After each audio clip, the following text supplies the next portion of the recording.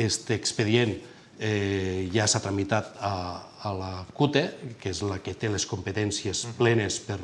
per poder dirimir si realment complís tota la normativa eh, o no, i que serà la CUTE la que, per entendre'ns, decidirà, que,